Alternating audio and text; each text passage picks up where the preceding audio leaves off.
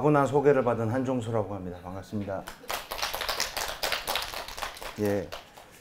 그 우선 라면 하면은 많은 분들한테는 아 거의 모든 분이라고 해도 좋겠죠. 남녀노소로 할것 없이 아마 첫 번째 요리일 겁니다. 요리라고 하면 좀 화내실 분도 계시겠지만 그리고 근데 아마 돌아가실 때까지 라면까지 못 끓이신 분도 꽤 계세요.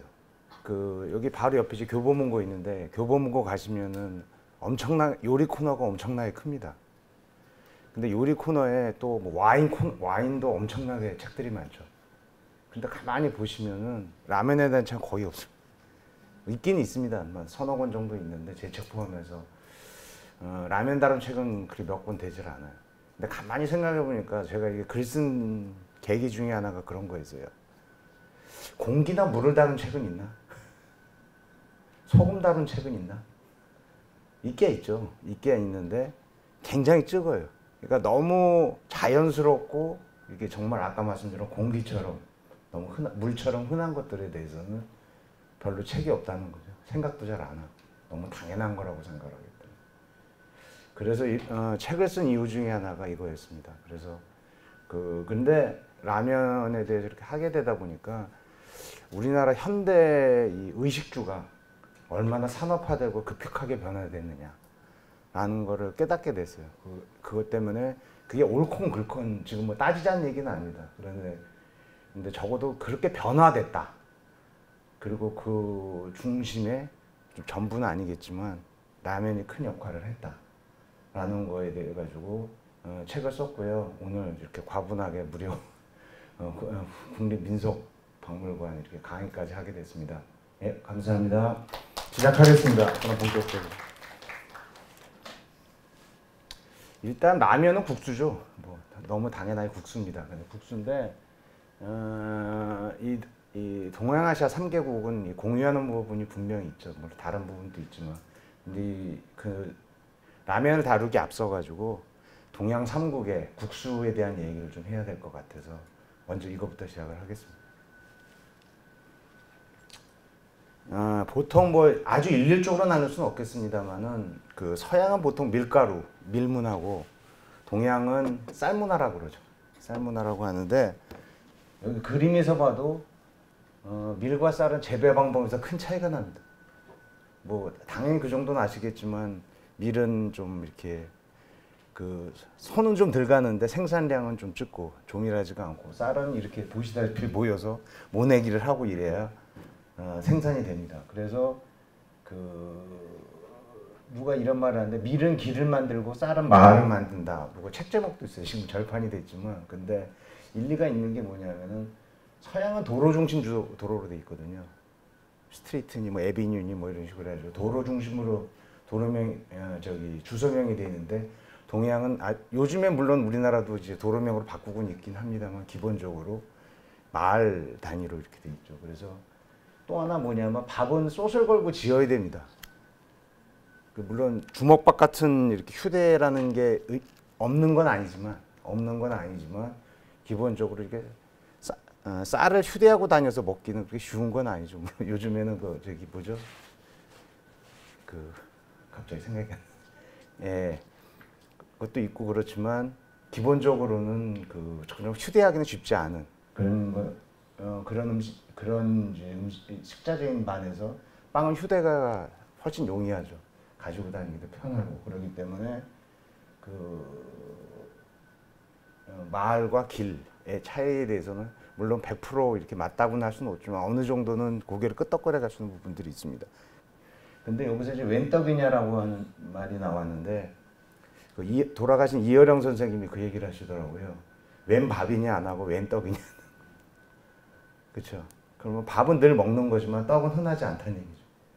너무 다, 다 당연한 결론이겠지만 그래서 이런 기본적으로 밀과 쌀문화권의 차이의 차이가 어, 있었다라는 거에 대해서 우선 음, 말씀을 드리고요. 그 다음으로 넘어가겠습니다. 일단 뭐 잘 아시겠지만 그래도 한번 정리를 해보면은 한중 삼국의 공통점은 상당히 많습니다. 우선 첫 번째가 이제 불교와 유교의 강력한 영향 하에 있었죠. 그럼 아무도 부인할 수가 없는 사실입니다. 정도 차이는 조금씩 있겠지만 그 다음에 두 번째는 뭐냐면은 요거랑 좀 연장선이겠지만 범식론적 세계관 좀 갖고 있죠.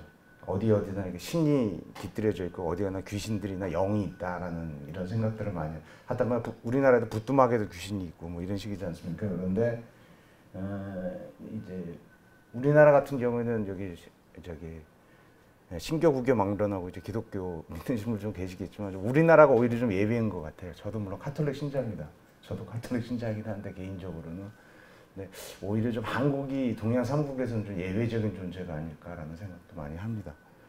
두 번째 말할 것도 없이 한자 문화권이고요. 세 번째 아까랑 연결되는 말인데 이제 벼농사를 중심으로 한 마을 문화.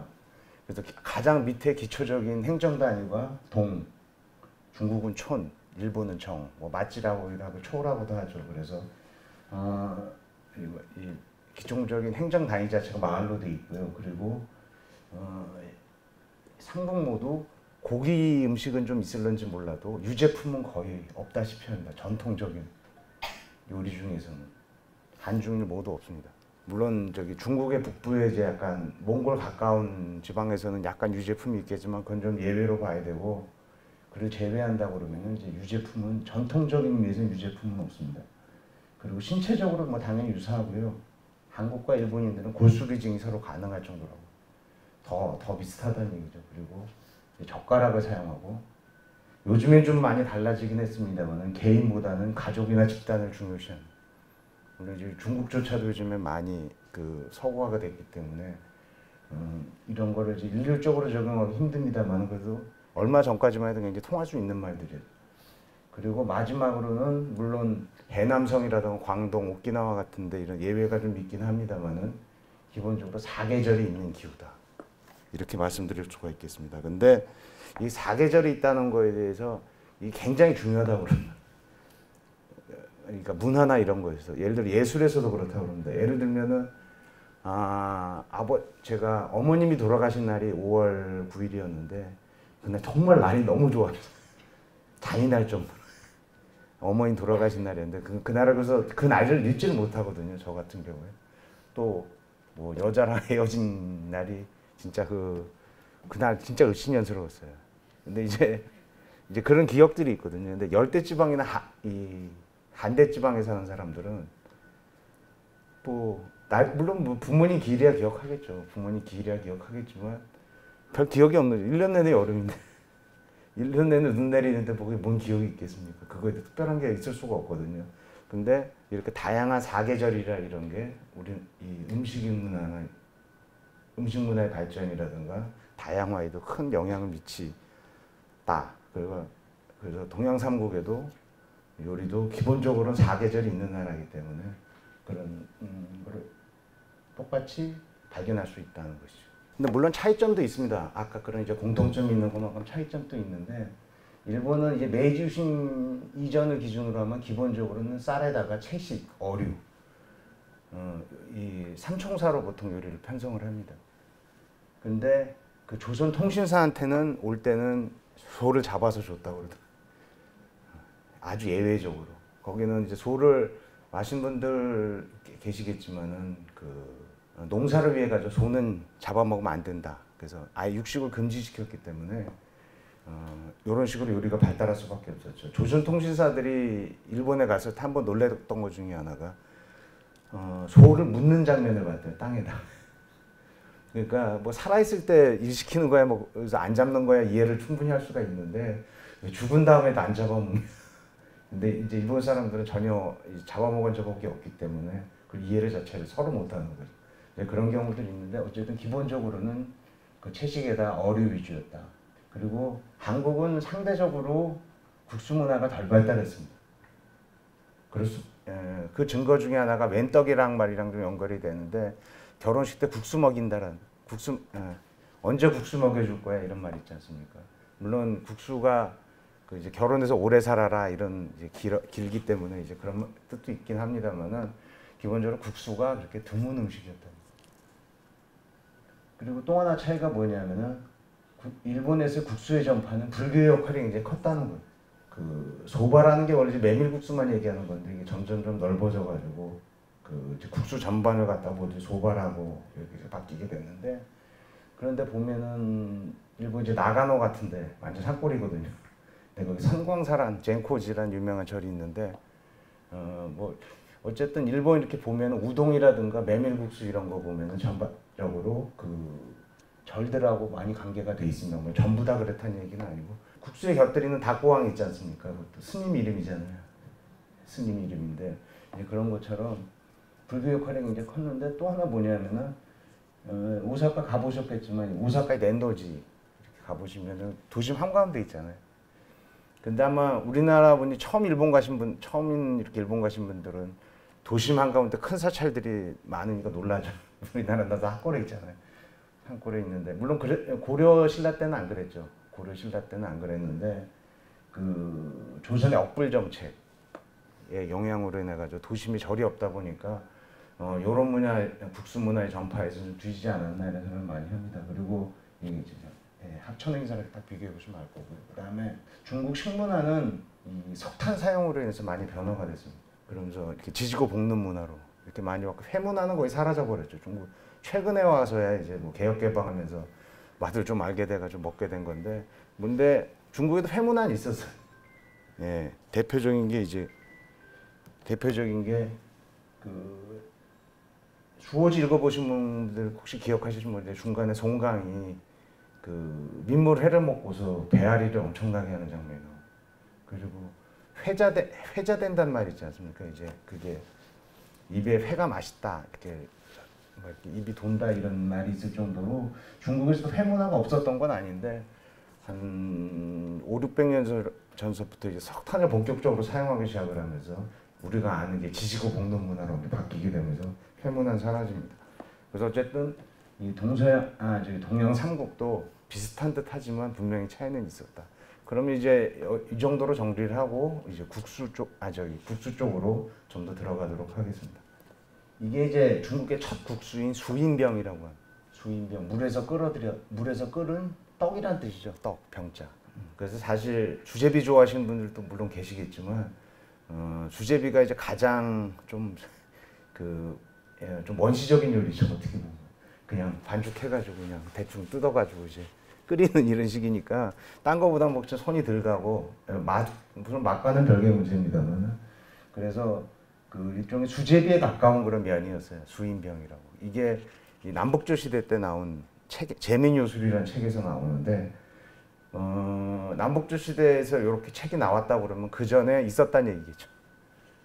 이미 책에 정리가 됐다 그러면 이미 그전 몇 년인지는 도좀 그건 당연히 알 수가 없겠지만 어쨌든 그 처음으로 그 어, 기록으로 남겨진 첫 번째 면 요리라고 할 수 있습니다. 근데 당시에는 떡하고 면의 구별이 없었어. 그냥 다 병이라고. 그냥 이제 밀가루 반죽은 다 그냥 요리들은 다 그냥 병으로 처리했던 거죠.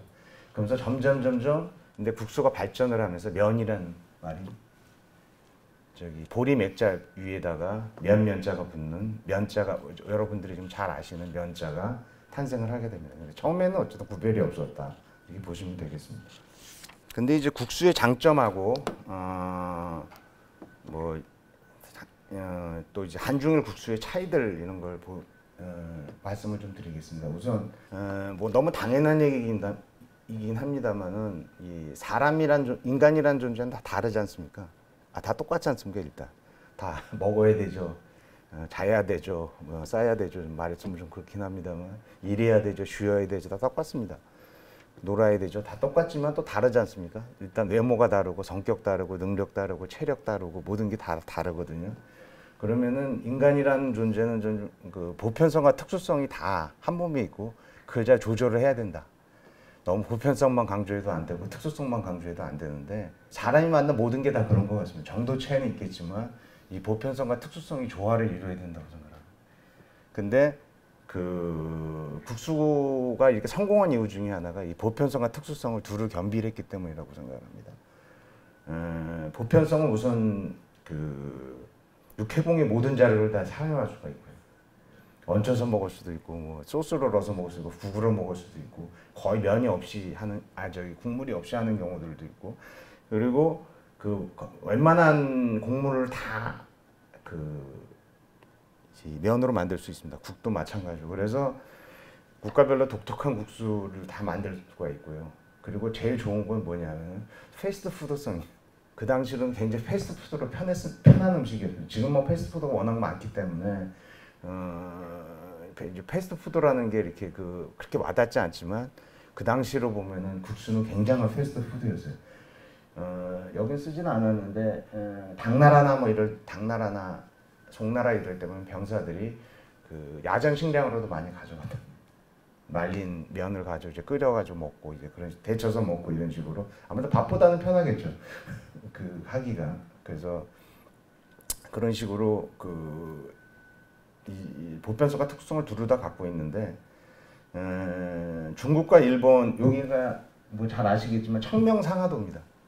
왼쪽에 있는 그림이 그 중국 북송의 개봉 그 동경이라고도 했죠. 제 도쿄랑 한자는 같습니다만은 그 수호지 부대이기도 했던 그 개봉인데 인구가 100만이 넘고 뭐 가게가 뭐 5천 개, 6천 개씩 있었다 그러고 거의 24시간 그 밤에도 가게를 했었고요. 근데 그 과정에서 이 당연히 이렇게 상공업이 발달하다 보니까 면이 엄청나게 발달합니다. 그래서 여러분이 알면 뭐 도상면, 무슨 뭐 닭국물면, 무슨 온갖 면들이 다 이때 등장을 합니다. 그래서 면이라는 글자가 아까 병에서 떨어져 독립한 시기도 이때쯤으로 보고 있습니다. 학자들은. 그래서 음 그리고 일본에 이제 좀 후, 한참 후기 나면 덕후가 시대 에도 에도는 뭐 아시는 분도 많이 계시겠지만 인구 100만의 대도시였거든요. 근데 그, 그 중에 한 반 이상 거의 70%가 독신 난자였다고 그래요. 왜 그러냐 하면은 그 참근 교대제라고 그래가지고 그 지방 다이묘들이 의무적으로 애도에 몇 개월씩 있어야 됐거든요. 그 수행원들이 이제 대부분 남자들이었기 때문에 독신 남자들의 도시였다고 합니다. 그런데 이제 이런 우리로 치면은 옛날 이제 어르신들은 쓰던 말 닭고방이라고 닭고방 이제 일본말은 상자 이런 뜻이 상자인데 그런 나가야라 그런 방주에 나가야라고 이렇게 긴 장옥이라고 그럽니다. 장옥. 저기 시내 가면 아직도 남아 있습니다. 하나. 그래가지고 그 말 그대로 방을 길게 만들고 칸을 잘라가지고 하수구 준 거예요. 하수구나 세를 준 집들인데 그런 데서 사는 그런 독신 남자들이 많았습니다. 그러다 보니까 이제 가볍게 한 개씩 때울 수 있는 음식들이 많이 필요했고 그래서 여기 이제 덴푸라라고 써있는데 그때 이제 덴푸라하고 그 그걸 또 덴푸라를 또 얹어가지고 면에다 얹고 이런 요리들이 굉장히 많이 발달했습니다. 근데 조선은 정반대였던 것 같아요. 면이 발달한지. 왜냐하면은 평양냉면, 뭐 함흥냉면, 뭐 춘천 막국수 뭐 이런 근데 다 보시면은 그 산골이죠. 벼농사랑은 좀 거리가 좀 있어 보이는 그런 지방들이죠. 그러니까 그 이제 속된 말로 이제 쌀 쌀이 부족하니까 메밀이나 뭐 여러 가지 다른 곡물 감자라든가 뭐 이런 거 물로 이제 갈아가지고 국수를 만드는 그런 정반대의 모습을 보입니다. 그리고 조선이란 나라가 어, 이게 상공업이 많이 발달을 못했기 때문에 말로 후반에 좀 발달하긴 합니다만은 그 전반적으로 이 국수랑은 좀 인연이 떨어지게 되는 문화가 없었던 건 아니지만 상대적으로 좀 이 중국하고 일본에 비해서는 음, 좀덜 발달하게 되는 그런 모습을 보입니다. 그래서 호남 쌀농 벼농사 쌀농사가 잘 되는 호남 같은 경우에는 팍 팍하 팍칼국수 외에는 그렇게 그 전통 국수라는 게 이렇게 어, 잘 알려지지가 않죠. 거기 뭐 냉면 호남에서 냉면도 별로 못 들어보셨잖아요. 그러니까 아무 좀 그렇게 되고요. 그리고 어, 일본하고 어, 중국에서는 숟가락 문화가 없죠. 숟가락 문화가 없죠. 그래서 우리나라가 우리나라 분들은 우리나라 조상님들은 정말 밥하고 국에 대해서는 진심이셨던 정말 진심이 그냥 말 그대로 진심이셨던 것. 그래서 주막 같은 데서도 국수 안 팔잖아요. 국밥 팔자. 국밥 팔잖아요. 이거 보셔도 국수 먹는 거 못 보셨죠? 사극이나 뭐 이런 데. 근데 실제로도 못 들어 잘 못 들어보셨을 거예요. 물론 판 데가 있긴 있었을 거예요. 있긴 있었겠지만 상대적으로 국밥에 비해서는 좀 존재감이 많이 떨어지죠. 그러니까 우리나라에서 어쨌든 국과 밥에 대해서는 정말 진심이었고 그래서 면문화는 상대적으로 굉장히 덜 발달했다 이렇게 볼 수가 있겠습니다. 근대화, 참, 참 무서운 말이죠. 자, 이제 모든 게 다 바뀝니다.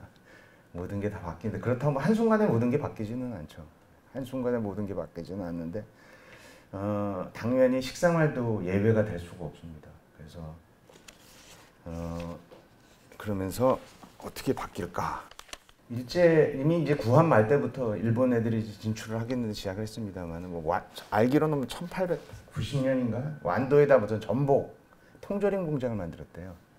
이제 그게 우리나라 최초의 그 이 땅에 세워진 첫 번째 그 식품 산업이라고 볼 수 있는 공장이라고들 하는데 그때 이제 대표적인 게 뭐냐면은 예, 왼쪽에 있는 아지노모토 미원입니다. MSG라고 그러죠. 그 저기 예, MGS라고 그러나. 그 요즘에는 이제 거의 거의 쓰질 않습니다만 저거 하나만 넣으면은 이제 마, 완전한 맛이 보장이 되는 아지노모토라고 그러는 미원의 원조 어가 있고 그 중간이 이제 통조림들입니다. 그리고 마지막이 양조 간장들. 이러면서 어, 우리나라 사람도 이제 슬슬 공장에서 나오는 식품 이라는 거에 대한 존재를 알게 되고 서서히 맛을 들이기 시작을 합니다. 일제시대 때.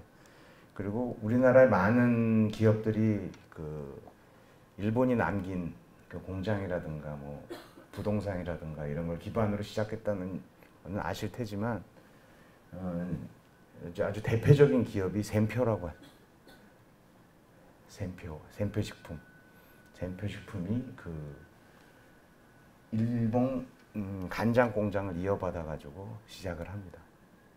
약간 식품하고는 좀 거리가 있긴 합니다만은 어, 우리나라의 사실 1960년대 중반까지는 모든 분야에서 이북 출신들이 주류였어요. 이북에서 내려온 분들이 지금처럼 뭐 편의점에서 TK나 뭐 이쪽 분들이 지금 뭐 주류라고 하지만 처음부터 그랬던 건 아니었습니다. 처음에는 그 이북에서 내려온 분들이 주류였는데 그 이유는 뭐냐? 북한에 공장들이 많았잖아요. 근데 거기 이제 이사, 뭐 상무 이런 것까지는 안 시켜주지만 뭐 전혀 없지는 않았겠지만요. 근데 대부분 그래도 과장 부장한 양반들은 꽤 있었거든요. 이제 그런 분들이 이남에 많이 내려왔습니다. 근데 우리나라에는 그 정도 경험 가진 사람도 많지 않았어요.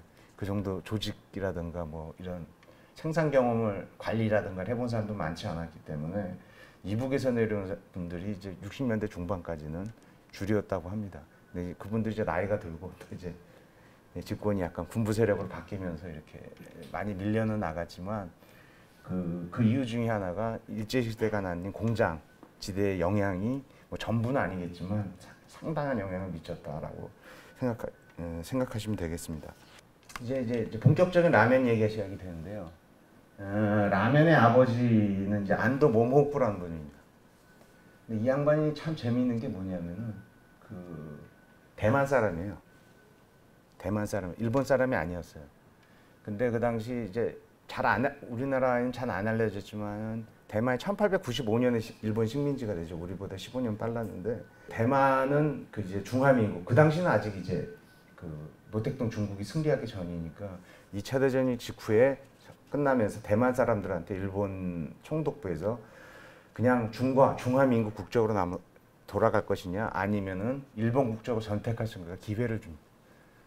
근데 이 양반은 일본 국적을 선택을 했어요. 그래서 원래 이름은 한자 이름 오백복입니다. 그 오나라 할 때 오자에다가 어, 숫자 백자에다가 복복 해가지고 오백복. 근데 백복을 다 한자로 하면 모모후쿠가 됩니다. 그래서 그래서 이, 이분이 이제 일본에 남았는데 그 이 라면이라는 게 참 정말 운명적이었던 것 같아요. 뭐냐면은 어쨌든 면의 종주국은 중국이죠. 북수 그러니까 이 중국인 혈통을 가진 안더 모모호쿠라는 분이 그 그래도 이 실컷 좋건 간에 아, 일본의 아시아에서 그 당시 유일하게 산업화돼 있는 나라는 일본이었잖아요. 그러니까 일본의 산업화된 그런 산업화된 능력 거기다가 미국이 2차 대전 후에 밀가루를 어마어마하게 뿌렸어요. 그러니까 갑자기 이 뭐 귀하지까지까지는 못하더라도 그렇게 구하기 쉽지 않았던 밀가루가 너무 구하기에 쉬워진 거예요. 그러니까 세 가지가 결합을 해서 탄생을 한 게 인스턴트 라면. 그러니까 딱그 정말 이렇게 보면은 운명일 수밖에 없다라는 생각이 들 정도로 예, 박자가 이 삼위일체 박자가 딱 맞아 떨어졌습니다. 근데 어, 요즘에는 그 누구냐면은 무라야마라는 분이 계셨는데 라면이 바다를 건넌 날이라는 책을 쓰신 분이 계세요. 근데 그분이 한국에 유학을 왔었는 유학을 와서 공부를 하고 있었는데 한국에서 라면 끓여 먹는 라면을 분식점에서 판다고 그래 너무 반가워서 갔대요. 근데 인스턴트 라면을 끓이는 거예요. 인스턴트 라면 끓으니까 너무 놀래가지고 근데 일본 라면은 한 번씩은 드셔보셨잖아요. 라면은 근데 비슷하지도 않죠. 비슷하지도 않죠. 우리나라 그 인스턴트랑 비슷하지도 않는데 아주 같은 라면 라면 라면이라지만 너무 차이가 나는데 어, 일본 라면의 그 면발 보면은 짜장면 면발하고 똑같거든요. 짜장면 짬뽕 면발하고 똑같잖아요. 약간 노르스름하고 두께도 비슷하고. 물론 약간 짜장면 약간 차이는 있는데 기본적으로는 같은 면발이거든요. 그게. 근데 그게 이제 라면인 거죠. 아주 고전적인 의미에서는 이게 그렇게 반죽을 해서 이렇게 면을 만들었다 그래가지고 그게 라면인데 일본에서 이제 중화면이라고 해서 유행을 했다고 합니다. 근데 그걸 갖다가 인스턴트화 시킨 거예요. 그분이. 근데 사실 일본 라 한국 일본 라면하고 한국 라면은 다른 거고요. 일본의 라면은 우리나라 사실 짜장면에 가깝다고 보죠. 아마 소비량도 그렇고 어, 일본 사람이 느끼는 라면하고 그 한국 사람부터 짜장면은 거의 비슷한 위치에 있는 거예요. 그래서 인스턴트 라면전 거리가 먼데 근데 재밌는 게 여러분 그 커피 커피 하면은 옛날에는 그냥 다방 커피였죠. 아니면 그 렉신 렉신에서 나오는 이제 그런 커피가 커피였죠. 그래서 근데 그 고종 황제라든가 순종 황제 같은 경우 저기 그 뭐야 거의 카페인 중독이었다 그러는데 그 양반들도 그거 먹었을 거예요. 그리고 이효석이 그 뭐지 낙엽을 태우면서 커피 냄새 맡았다고 그러잖아요. 그 그분들이 멕시 커피 우리 그 믹스 커피 먹었을까요? 아니죠. 원두 커피 마셨을 거예요. 원두 커피 마셨는데 그 우리는 이 커피를 그런 커피로 먹은 거 커피로 안그 나중에 좀 먹고 살만해져가지고 원두 커피라든가 이렇게 들어오니까 그 커피를 원두 커피라고.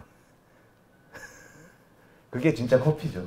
근데 우리는 이제 이런 믹스 커피 이런 데 이제 단련 너무 익숙해져 있으니까 그 그게 커피고 원두 커피는 따로 원두라고 원두 커피를 붙이는 거죠. 근데 이 말씀 왜 드리냐면 라면도 똑같아. 우리는 인, 이런 일본 라면 전통이 없잖아요 전혀. 그러니까 인스턴트 라면부터 받아들이기 때문에 인스턴트 라면이 우리한테는 라면이고. 물론 그걸 굳이 족보적으로 따질 필요는 없습니다. 왜 그러냐면은 그건 일본 얘기고 우리는 이제 상황이 다르기 때문에 옳다 그르다 커피도 마찬가지고 뭐 이렇게 따질 필요는 없습니다만은 어, 그게 결코 같을 수가 없다. 원두 커피랑 미스 커피가 같은 같은 커피긴 하지만 완전 다른 물건이잖아요. 그런 것처럼 일본 라면하고 인스턴트 라면은 같은 게 아니죠. 물론 어, 뿌리가 아주 다르다고까지는 못하겠지만 굉장히 다른 물건인데 어쨌든 그런 분야에서도 우리나라가 이 급격한 산업화 근대화를 이루면서 어, 이제 독특한 발전 과정을 거쳤다라는 증거 중에 하나일 겁니다. 여기 이제 잠깐 지나가면 약간 민감한 문제일 수도 있는데 한국 근대화 일본의 관계 이건 뭐 뗄래야 뗄 수가 없는 관계일 것 같습니다. 시콘 좋건 간에. 근데 보통 이제 대항해 시대 이후에는 아니 우리나라가 이제 그 전에 계속 일본의 문물을 전해주는 입장이었죠. 근데 이제 어떻게 보면 임진 전쟁 때 이제 조총이 들어오기 시작을 하면서 어, 좀 바뀌었다 이렇게 느껴지는데 근데 근본적으로 뭐냐면은 어, 그전 대항해 시대 이전에는 대륙 문화가 훨씬 위에 있었기 때문에 우리가 전달해주기가 우월한 입장이었죠. 근데 대항해 시대 이후에는 바다 이 해양 쪽 문화가 더 강하게 되거든.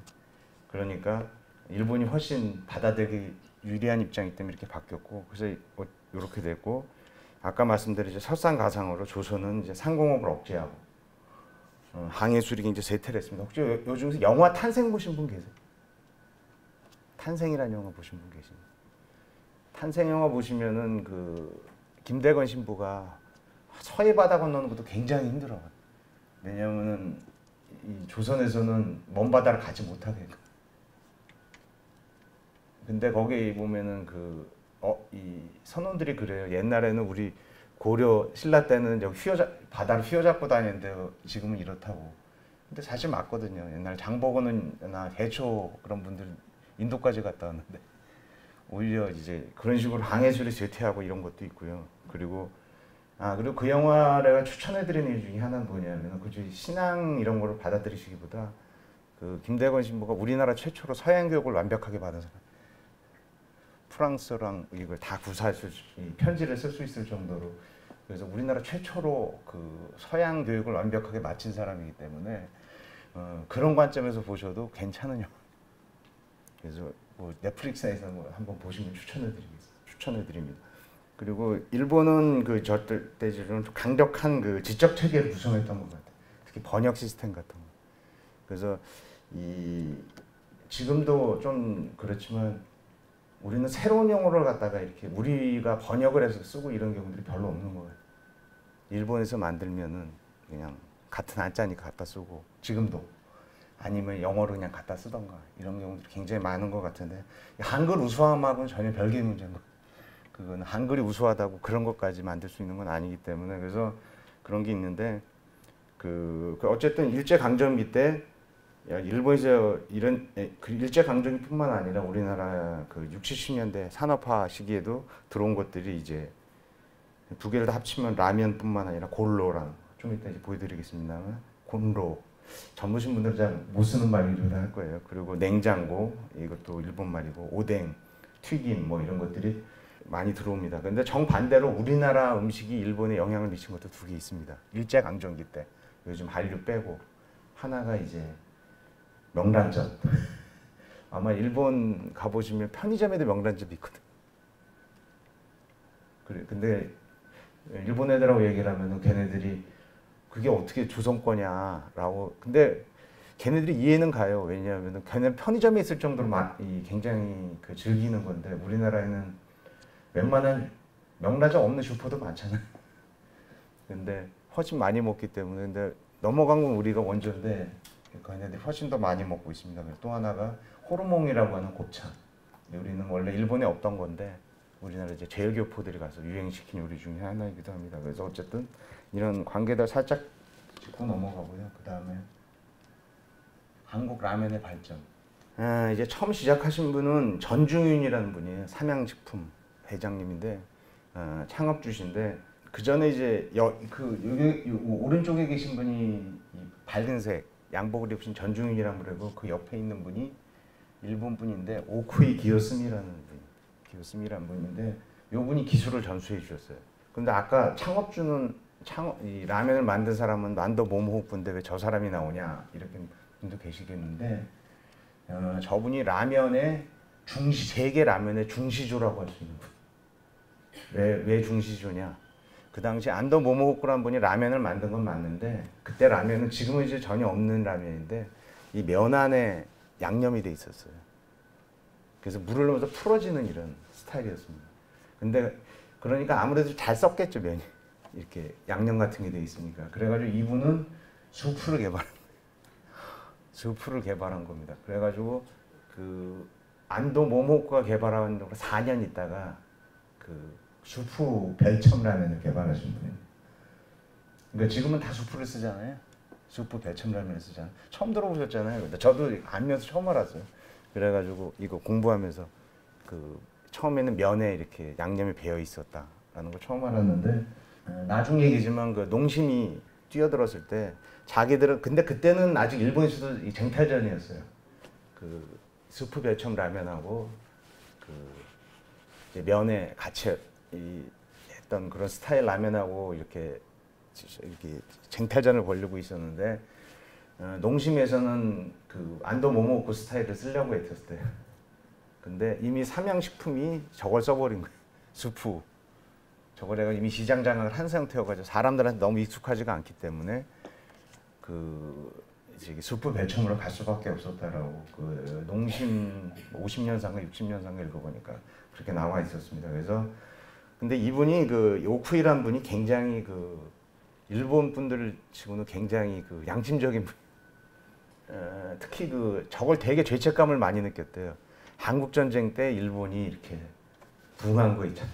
남의 나라 전쟁에서 그 우리는 이렇게 그것 때문에 잘 살았다, 잘 살게 됐다 이거에 대해서 되게 죄책감을 많이 느끼셨던 분이라.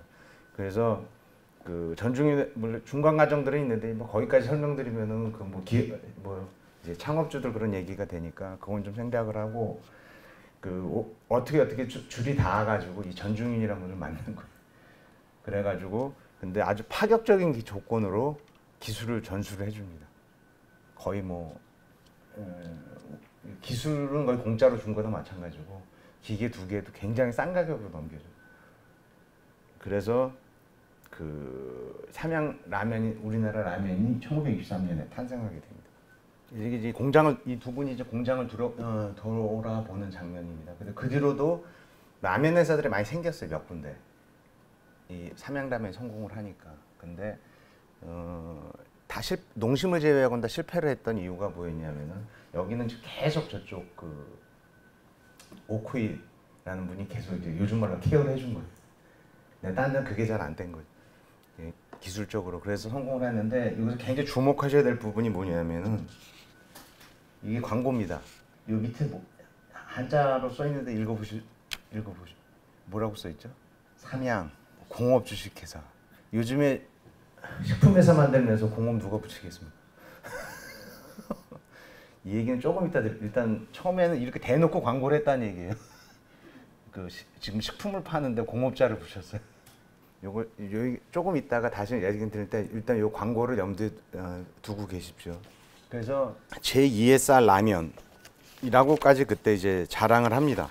그 당시 이제 여러 가지 성공한 요인이 있었는데 요 밑에 이제 신문 광고가 하나 있는데 이게 뭐냐면 충무로예요. 그 월하의 집이라고 분식점이 있었습니다.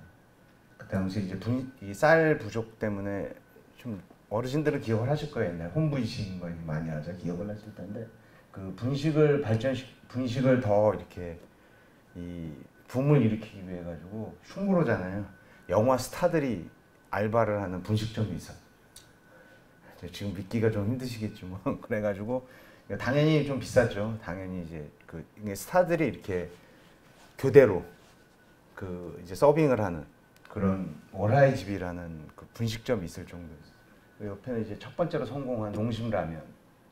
그런데 그 어느 분이 표현을 했는데 일본에서 라면은 완전 이제 원래는 중국 그 국수긴 하지만 이제 완전 일본화 돼가지고 뭐 거의 이제 짜장면도 사실 한국 음식이죠 이제 중, 중국에는 그 짜장면은 완전 맛이 다르기 때문에 우리나라 짜장면은 사실은 한식이라고 보는데 그랑 똑같이 일본 라면은 이제 완전 시민권을 얻었고 짬뽕은 일본에서 그렇게 많이 밝혀지 마, 그렇게 많이 먹지 않습니다. 그래서 그거는 이제 영주권을 얻었는데 한국 라면은 아예 집안으로 입양됐다. 누- 이게 이제 제 표현이 아닙니다. 어느 분이 표현을 했는데 어느 음식 칼럼니스트가 쓰신 표현인데 딱 맞는 것 같더라고. 더도 덜도 없이 딱 맞는 것 같다는 표현이었는데 이게 뭐냐면 여기서 아까 제가 우리나라 사람 조상들은 특히 어, 국물하고 밥에 대해서는 진심이었다. 근데 우리나라 국물 문화랑 결합이 돼. 국물 문화랑 결합이 되면서 근데 가만히 생각을 해보시면은 최, 한 90년대까지는 라면이 다 수프에만 광고, 수프 광고만 이 국물이 좋다 이런 광고만 했어요. 면에 대해서는 별로 그이 중점을 안 뒀습니다. 그리고 말아 심지어 쌀을 말아 먹기도 아니 밥에다 말아 먹기도 하잖아요. 끝나고서 밥에다 말아 먹기도 하고 이러면서 그러니까 이 국밥 문화랑 이렇게 어딘가 연결되는 부분들이 있는 거예요. 어딘가 연결되는 부분들이 있습니다. 근데 맨 처음에 쌀이 라면이 나왔을 때 맨 처음부터 잘 팔리진 않았어요. 왜냐면 라- 좀 어리석겠지만 어 아니 좀 어이 없으시겠지만 뭐냐 라자가 비단 라자 면은 손면자 이렇게 봐. 그리고 이 공장에서 나오는 음식이라는 것 자체가 아까 어, 조금씩 뭐 간장이라든가 아까 말한 이제 통조림이라든가 이건 아예 새 거니까 통조림이라든가 그 미원이라든가 이런 조미료라든가 이런 거에서 어느 정도 받아들이기 시작을 했지만 그런 공장에서 나오는 식- 식품 그걸 또 집에서 먹는다 이런 개념이 굉장히 약했던. 근데 가만히 생각해 보시면은 옛날에는 음식이라 다 집에서 먹는 거예요. 저도 어렸을 때 다 그랬거든요. 좋은 날 돼야 이제 뭐 졸업식이라든가 뭐 생신이라든가 무슨 뭐 이렇게 좋고 무슨 몇 주년 기념 또 뭐 누가 왔다더라 뭐 이러면 이제 좋은 음식점 뭐 그때 청열이라고 그랬죠. 중국 중국 음식점을 가든가 이랬지. 지금처럼 그렇게 자주 나가서 먹질 않았어요. 그래서 거의 이제 어머님들은 이제 부엌에 매달려 부엌 가고 이제 빨래 매달려 계셨어야만 했죠. 근데 그 이런 근데 갑자기 이제 분식 그 그걸 하면서 또 기본적으로 맛이 있잖아요. 맛이 있고 이러면서 엄청나게 팔리기 시작을 합니다. 국가의 이런 뭐 지원도 있었지만 아까란 이제 국물 문화의 결합 그리고 이제 산업화란 이렇게 여러 가지가 연결이 되면서 한 처음이 어렵지 한 번두개 터지면은 그게 굉장히 빨라집니다. 특히 우리나라 같은 나라는. 그래서 또 하나가 군에서 그 라면을 많이 먹기 시작을 한. 야전 식 야전에서 끓여 먹기 좋거든요. 밥 이런 거보다 훨씬 편하잖아요. 그러니까 그 그때 이제 또 이, 다들 아시겠지만 야외에서 먹는 라면이 얼마나 맛있습니까? 그러니까 사회 나가서도 찾, 찾을 수밖에 없게 되는 거죠. 이러면서 여러 가지가 이제 시너지 효과가 나면서 라면은 무려 제2의 쌀이란 호칭까지 받게. 전혀 어색하지 않았어요. 제2의 쌀이란 말이. 그 당시 라면이 주는 쌀 대체 효과가 충청북도 쌀 생산량하고 맞먹었다고 합니다. 삼양식품만.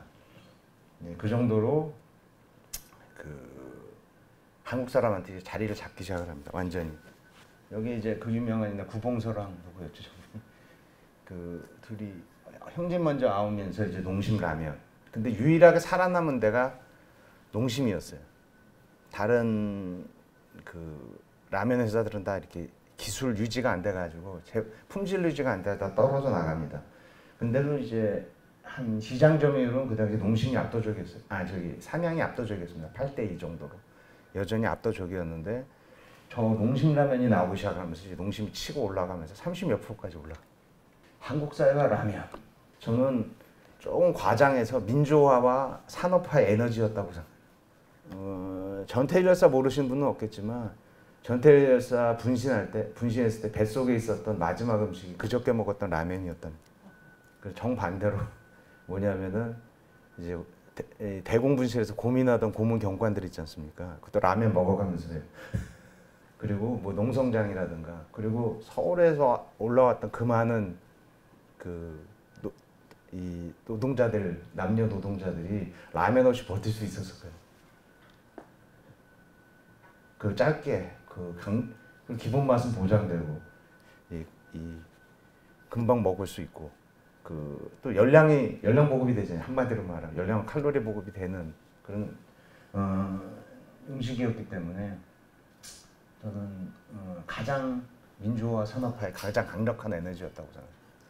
그리고 어, 가장 강, 중요한 비상식량이기도 했고 지금도 비상식량으로는 아무리 라면 싫어하는 분도 그, 그, 그 가치까지 부정하지는 않을 겁니다.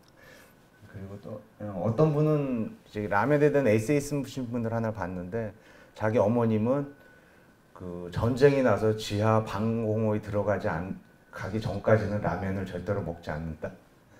라는 표현까지 쓰셨어요. 이제 그런 분들도 계시긴 계시겠지만, 근데 그 자체도 비상식량으로서의 가치는 인정한다는 얘기 아니에요. 최소한 그런 분들조차도. 그러니까 가장 중요한 비상식량이기도 하고, 이렇게 보시면은 어디 불이웃 돕기라든가, 뭐 어디 방문을 할 때는 예전같이 많지는 않습니다만은, 그래도 라면 몇 박스는 아주 기본으로 들어가죠. 근데 그 이제 무죄 파동이라고 한번 들어보셨을 텐데 결국 나중에 이제 무죄 판결을 받았습니다. 무죄 판결을 받았는데 그게 이제 익명의 투서로 시작이 됐어요.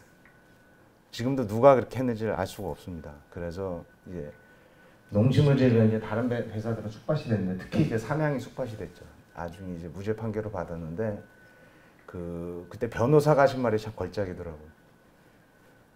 밥을 하면은 개밥이 따로 있고 사람 밥이 따로 있습니다. 사람이 먹다 남은 거를 개가 먹는 거잖아요. 그렇잖아요. 개밥이라고 따로 만드는 건 아니죠. 그러니까 우지라는 것도 똑같다는 거죠. 식용 우지가 따로 있고 공업용 우지가 따로 있는 게 아니라 그분 조금 차이가 있을 수는 있는데 기계 쓸 수도 있죠. 쇠기름을 갖다가 거기다가 그 라면 튀길 때도 넣을 수도 있고. 근데 그 이제 전중현 회장이라는 양반이 그이 단백질 보급에 대해서 그 당시는 이제 고기 같은 거는 부족했기 때문에 쇠기름이라도 써야 된다고 계속 우겼다. 네, 그게 그 화근이 된 셈인데 그래가지고 그 우주 어마어마한 우주 파동이 나면서 어, 삼양식품이 많이 몰라 그럽니다. 근데 하나 착 그거 우주 파동 기억하시는 분들은 꽤 있으실 텐데 하나 오해는 없으셔야 되는 게 뭐냐면은 어, 이미 농심하고 삼양 역전이 됐어요. 그 농심이 한 5% 10% 앞서가기 시작했습니다 이미. 근데 이제 농, 거의 삼양 10% 이하로 떨어져서 그렇지. 그래가지고 그 어쨌든 뭐 3분의 1 이하로 떨어졌으니까 어마어마한 타격이죠. 그래가지고 거의 회사 망할 뻔했던 살아났습니다. 그 얘기 조금 드리기도 하고. 근데 그 사건의 옳고 그름 뭐 이런 문제는 별개로 하고 굉장히 아쉬운 게 뭐냐면은 그 뒤로는 그 라면을 튀긴 게 보다 팜유로만 튀기게 됐어요. 팜유로만 야자에서는 팜유로만 튀기게 됐는데 여러분 저기 삼겹살 구우실 때, 아 삼겹살 구우실 때 그 김치 같이 넣으면 맛있죠. 김치 구우면 맛있잖아요. 그 돼지 기름 들어가서. 뭐 정반대로 아, 비슷하기도 하구나. 저기 빈대떡 부칠 때 무슨 기름 씁니까? 돼지 기름 쓰죠. 그러니까 사실 그러니까 이게 딱 궁합이 맞잖아요. 그 식물성 튀기고 기름 동물 기름 쓰고 이러는 게 굉장히 궁합이 맞거든요. 그것만 봐도 그런데 저것 때문에 이제 그 파미로 획일화되어 버린 거예요. 지금도 그래가지고 그런 부분은 그 우지 사건의 그 옳고 그름과 또 별개로 굉장히 아쉬운 부분 이게 좀, 좀 다양화됐었어야 되는데 튀기는 기름도 그래서 그 다음에 이제 한국 식품 산업의 탄생과 발전. 이 저는 개인적으로는 뭐 그냥 손주의 개인입니다. 개인적 의견으로 라면부터 진짜 식품 산업이 시작이 됐다고 생각. 라면부터 그 전에는 뭐 삼백 산업이라고 그래가지고 뭐 설탕, 밀가루, 뭐 면직물 또는 삼분 산업 아까 말한 밀가루, 설탕, 시멘트 뭐 이런 걸로 시작을 하면서 재벌 우리나라 소위 말하는 이제 대기업분들이 생겨나고 이렇다고 얘기를 하고 뭐 사실입니다. 사실인데 이게 다 의식주하고 연결이 돼 있죠. 밀가루, 설탕, 시멘트, 면직물 다 의식주하고 연결이 되면서 어, 산업화가 시작이 된 거죠. 어, 1968년 8월 1일에 식품 생산자협회라는 게 창립이 됩니다. 그래서 10개 회사가 처음으로 들어가요. 어, 삼양식품공업이 일본이었고요. 왜냐하면 그 전중인 회장이 첫 번째 그 회장을 맡았기 때문에 그리고 이제 뭐 이제 자기들끼리 이제 뭐지 이제 위생 기준도 마련해야 되고 뭐 여러 가지들 그뭐 물론 정부 로비도 당연히 포함되어 있겠죠. 뭐 그래서 여러 가지 이유로 해가지고 식품산업협회가 되는데 10개 회사가 있습니다. 해태, 삼립, 샘표, 칠성, 미원, 미풍. 미풍 혹시 들어보신 분 계세요? 아시는 분? 맞추시면 제가 이 책 선물로 드립니다. 아시는 분 계실 텐데.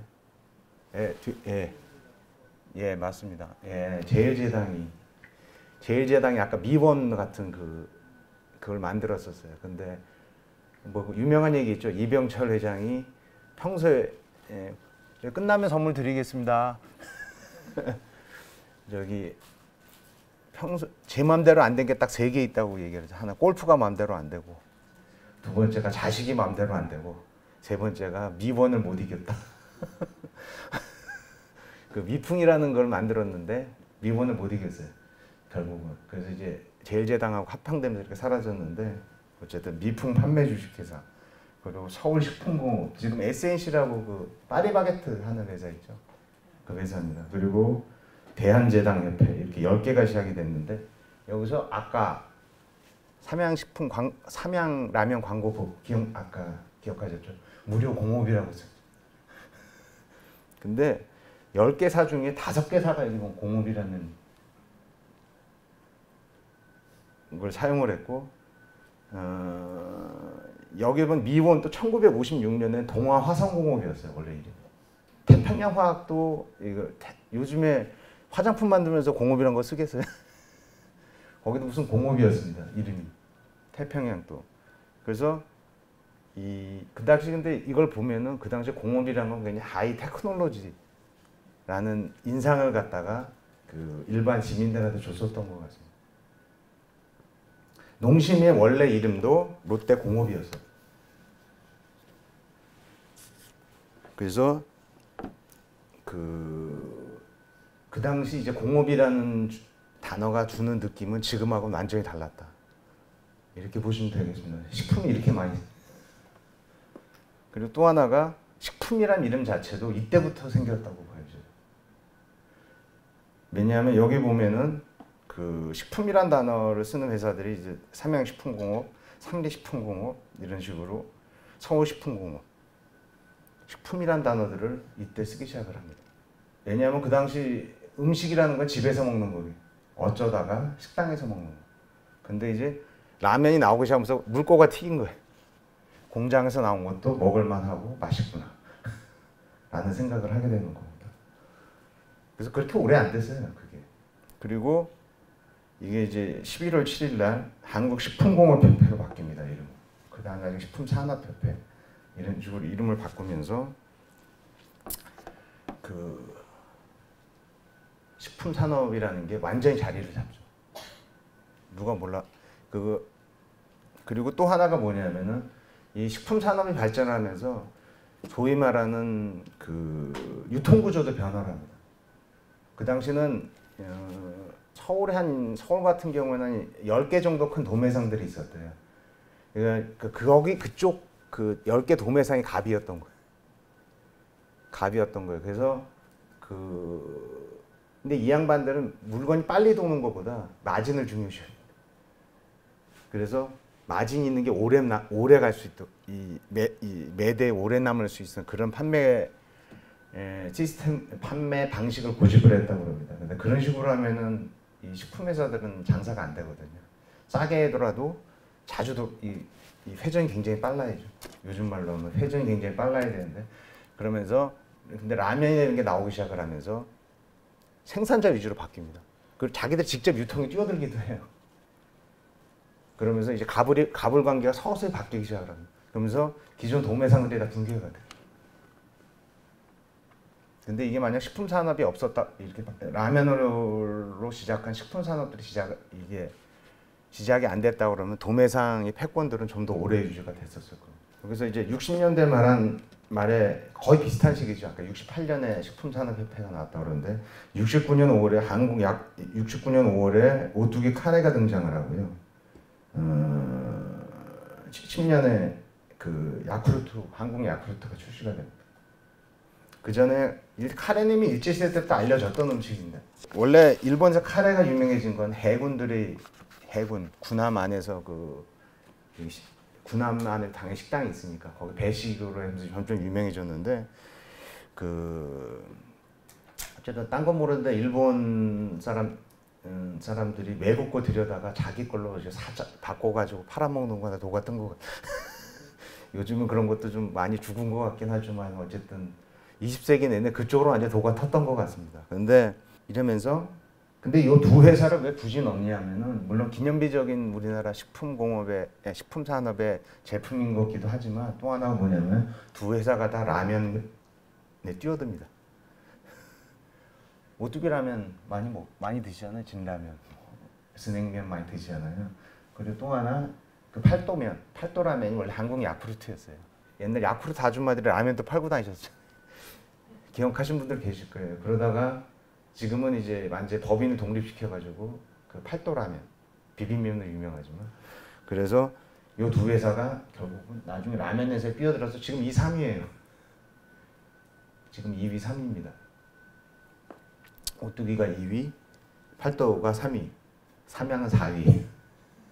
4위입니다. 그래서 근데 여기도 또 하나 재미있는 게 뭐냐면은 오뚜기 원래 이름은 풍림 상사였어요. 근데 오뚜기 카레가 유명해지면서 회사 이름을 오뚜기로 바꿉니다. 아까 농심이 그랬죠. 아까 롯데 공업이라고 그랬잖아요. 근데 그거를 농심 라면이 성공을 하니까 회사 이름을 아예 농심으로 바꿉니다. 근데 식품 회사 이런 게 상당히 많은 것 같아요. 그 하이트도 그런. 하이트도 원래 그냥 저기 상표였는데 회사 이름을 바뀌거든요. 그래서 유난히 이제 식품업계에서는 이런 경우들이 많은 것 같은데 어쨌든 이 두 회사가 어, 이 라면 시장에 뛰어듭니다. 또 여기다 또 중요시 해야 될 게 뭐냐면은 의식주 산업화가 셋이 긴밀한 연동이 됩니다. 하나만 산업화되는 게 아니라 어, 서로 서로 영향을 굉장히 많이 미치게 됩니다. 예를 들면은 이제 라면이 많이 하게 된게 저거 소위 말하는 얘네 풍로라고도 하고 일본 말이 좀 골로라고 옛날에 있었죠. 이게 이게 나오면서 이제 어머님들이 부뚜막에서 해방이 돼. 그다음에 이제 가스레인지 나오면 더 좋아졌고 이런 식면서 그 이게 나오면서 라면 끓이기 너무 좋거든요 그 당시에는. 그러니까 이제 라면이 더 잘 팔립니다. 이 골로들이 석유 골로들이 보급이 되면서. 또 하냐면은 뭐 가스레인지 나오면 더 얘기할 것도 없죠. 더 좋으니까, 더 편하니까. 그 다음에 장독대 퇴출 운동이 있었어요. 왜냐하면 이제 아파트들을 짓기 시작을 하는데 장독대가 어울리질 않는 거죠. 그러면서 장독대 퇴출 운동이 벌어집니다. 그러면서 양조간장만 먹어라 이렇게 된 거예요. 이게 이게 긴밀하게 연결이 되는 거예요. 식생활하고 주택생활 이런 게. 근데 왜 그러면 이제 왜 여성 해방 얘기 왜 나오냐? 옛날에는 어머님들이 하루 종일 집에 있어야 됐거든요. 밥, 밥 해줘야 되니까. 근데 라면이 나오니까 일주일에 한 번 정도는 아들한테 야, 너희 라면 끓여 먹으라고 나갈 수 있잖아. 근데 처음 한 번이 어렵지 그 다음부터 쉽잖아요. 그 다음에 이제 뚜기 한 번 튀기 시작을 하면 그 다음에 이제 뭐 카레도 있고 뭐도 있고 그러니까 그러면서 이 여성 해방에 큰 역할을 한 거예요. 표현이 가능할지 모르겠지만 두 번째는 아까 아파트죠. 아파트. 그 옛날엔 집 집을 지켜야 되는데 열쇠만 잠그고 나가면 되잖아. 그, 그리고 기성복도 마찬가지. 옛날에는 집에서 아니 세탁기라든가 이거 옛날엔 세탁을 하려면 또 하루 종일 걸려야 되는데 세탁기로 금방 금방 하고 그 그다음에 이제 기성복의 보급도 그 영향을 많이 미칩니다. 옛날에 한 60년대, 70년대까지만 한복 입는 사람들이 많았어요. 집에서. 특히 지방 같은 경우에는. 근데 왜 한복을 입냐면 저게 왜 그, 그 게 근대화가 이렇게 의, 의상 근대화가 이렇게 늦었나 그랬는데 찾아보면 다 이유가 있더라고요. 한복은요. 이게 이게 품이 넓잖아요. 그러니까 줄이고 늘리기가 쉬워요. 그러니까 물려줘서 입기가 너무 좋은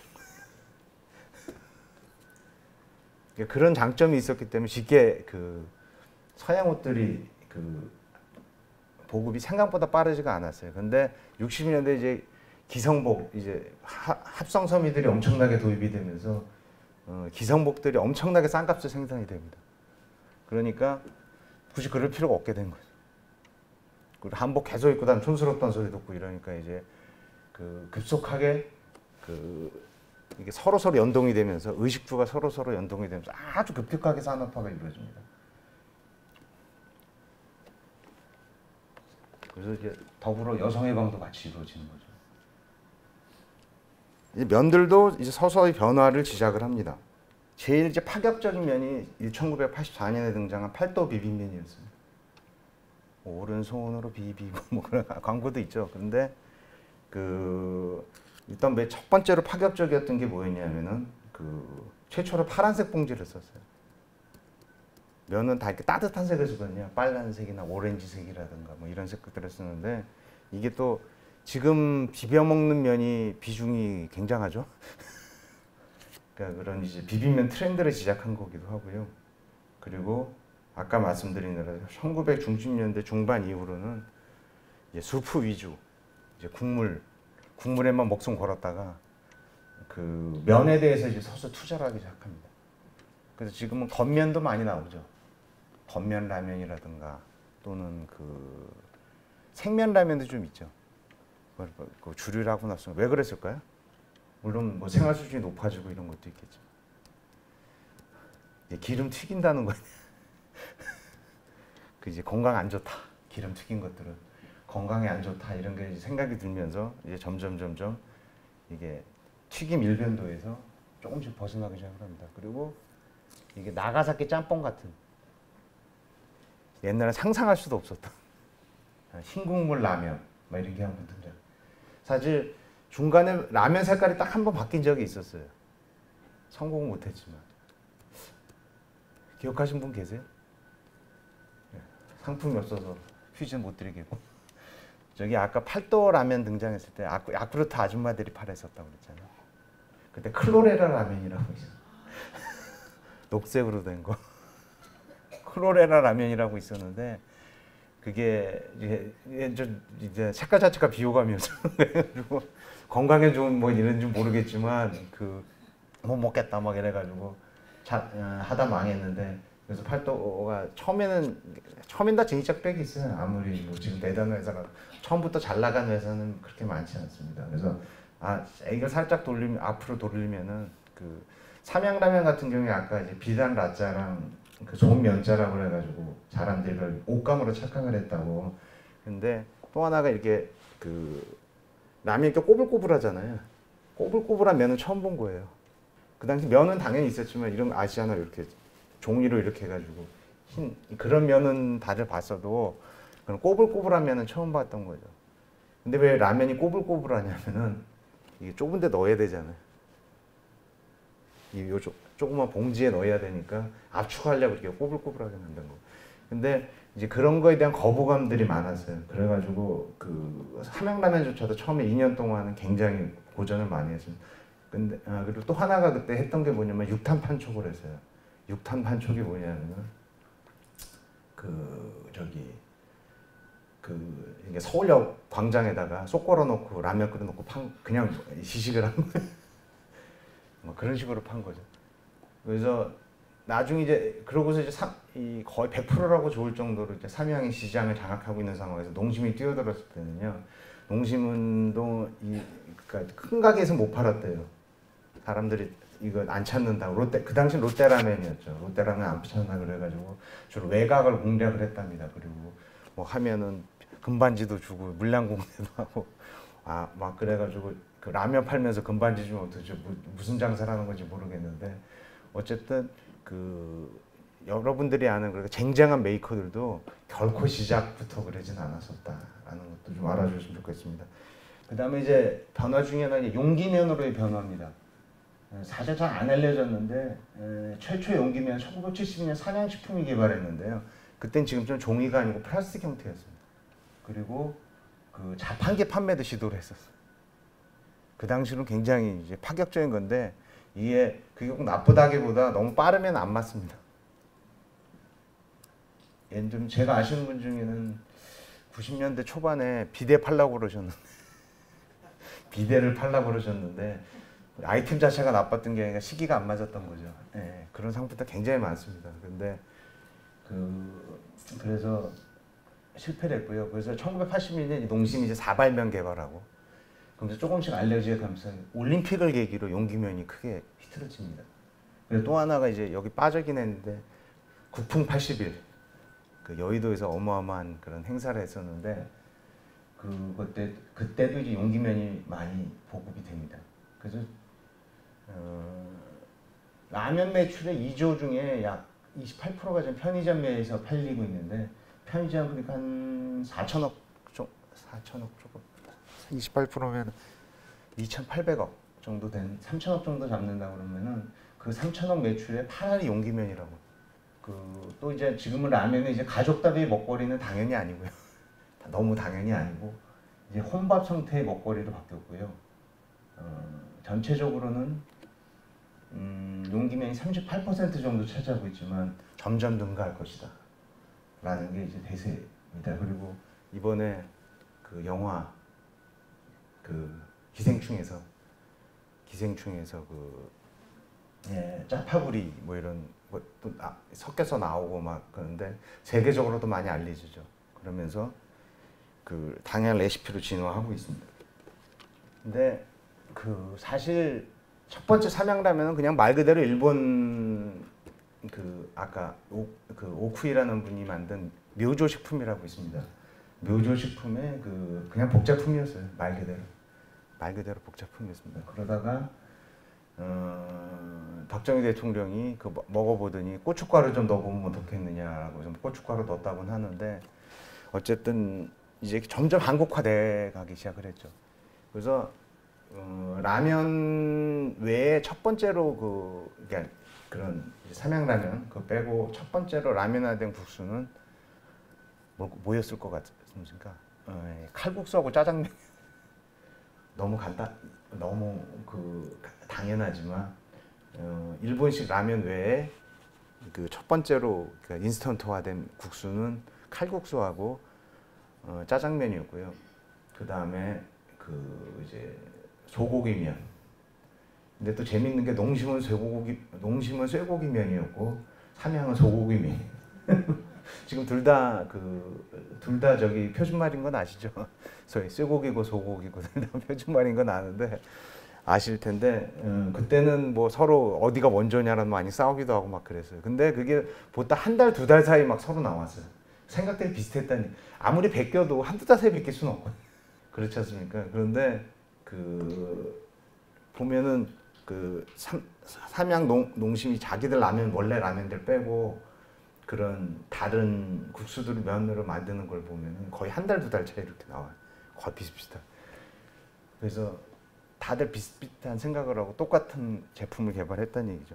그리고 지금 보시면은 어, 이게 큰 매장, 식품 매장들, 뭐 홈플러스건 뭐 이, 이, 이메트건 뭐 이런 큰 매장 가 보시면은 식품 코너가 그야말로 어마어마하죠. 상상을 초월하죠. 어마어마하게 큰데 라면을 보면은 거의 모든 라, 음식들이 라면화 됐다고 과언이 아니에요. 거의 어, 부대찌개 라면, 바지락 라면, 뭐 삼계탕면도 있더라고요. 가보니까. 네, 삼계탕면도 있고, 어, 뭐 곱창면도 있어요. 그러니까 와 정말 대단하다. 근데 네, 정말 한국 사람 대단하다. 그런데 제가 좀 그 홍보 쪽 교수님한테 여쭤봤더니 아, 정말 라면은 어마어마 이렇게 다양하게 나오는데 이런 상품이 또 있나요? 물어보니까 딱 하나 있다고 그러시더라고요. 음료. 음료. 마시는 음료 있지 않습니까? 음료만 음, 이렇게 트렌드가 빨리 변하고 다양한 제품이 나온다고 합니다. 라면을 제외를 한다고 합니다. 그래서 그 양, 이제 양대 산맥이 아닐까라는 생각도 많이 합니다. 그래서 이제 K푸드의 선봉이기도 하고 어, 많은 역할을 하고 있습니다. 근데 그렇게 많은 라면들이 나오는데 또 아이러니하게 그 잘 팔리는 라면 10개를 보면요. 다 8, 90년대 나온 라면. 신라면, 진라면, 뭐 팔, 비빔면, 뭐 다 10대 라면 쳐보시면은 다 정말 오래된 여기 아마 젊으신 분들보다 나이가 더 많은 라면도 많다는 겁니다. 물론 재료가 다 똑같지는 않습니다. 재료나 뭐 이런 게 다 똑같지는 않은데 그 옛날하고 똑같은 재료로 만들고 있지는 않지만은 어, 근데 딱 하나 예외가 있어요. 불닭볶음면. 불닭볶음면만은 최근에 나온 라면인데 그 10대 안에 들어가 있습니다. 근데 엄청 잘 팔리더라고요. 제가 싱가포르 가니까 편의점에도 다 있더라고요. 슈퍼가 아니고 편의점에 있다는 건 엄청 잘 팔린다는 얘기 아니겠습니까? 근데 삼양식품 같은 경우에는 음, 4위 메이커이긴 한데 국내에서는 어, 수출이 더 많다고 그래요. 수출. 어, 국내 그 내수보다 수출이 더 많다 이렇게 얘기 마, 마, 많다고 합니다. 그리고 그 육해공의 모든 재료들이 다 들어가고요. 웬만한 수프나 그 명, 웬만한 라면 있잖아요. 그렇게 고급 라면이 아닌 라면도 보통 재료가 130개, 130개 적어 적어도 많은 경우에는 200개 정도 들어. 예, 그 라면 이 하나가 어마어마한 세 개입니다. 그리고 그렇게 그 삼양식품에서 자료를 좀 찾아봤는데 그 삼양 그걸 좀 더 연구를 해볼 필요가 있는 건데 처음으로 저, 어떻게 보면 너무 자연스럽긴 한데 그 재료들이 있지 않습니까? 거기 파도 들어가야 되고 뭐, 뭐 채소도 들어가야 되고 뭐 이거 들어가자 고명도 들어가고 뭐 수프 재료도 들어가고 이러지 않습니까? 그를 당연히 공급을 받을 공급을 받기 위해 가지고 맨 처음에 도매상에서 사고 뭐 이랬겠죠 처음에는 그러다가 아예 어느 농촌의 어느 면을 지정을 해가지고 그 이제 정기적으로 그 이게 그 뭐지 하청을 준 거예요.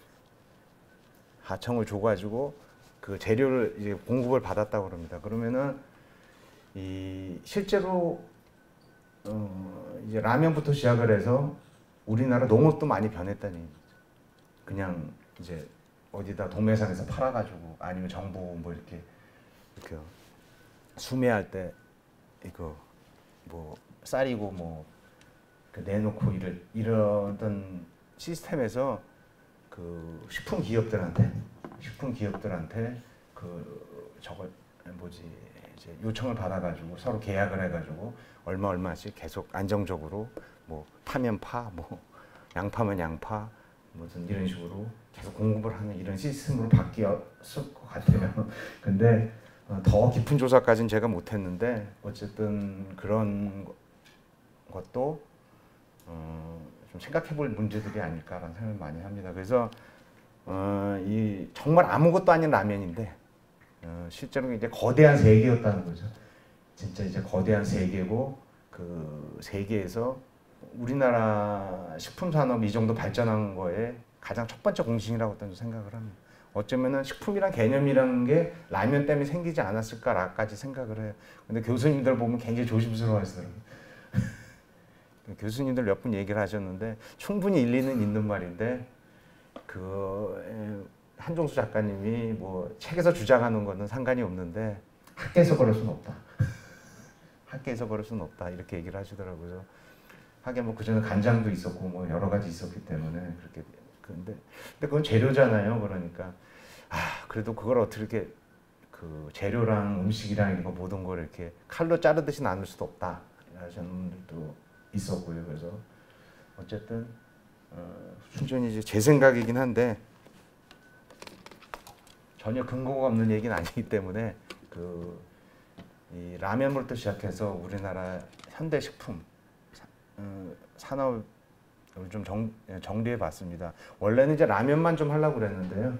그거보다 이렇게 조금 넓히는 게 더 그 생각하시는 것도 많이 좀 폭이 넓어지지 않으실까 라는 생각도 들고 그냥 뭐 라면 뭐 이런 이런 브랜드가 어쩌고 이런 거보다는 이 한국 사람 생활 자체를 많이 변화시켰고 또 이런 거대한 식품 산업을 만드는데 어, 정말 빼놓을 수 없는 존재였기 때문에 이런 식으로 조금 제가 생각 원래 했던 것보다 약간 컨셉을 바꿨습니다. 그러면 이만 마치도록 하겠습니다. 감사합니다.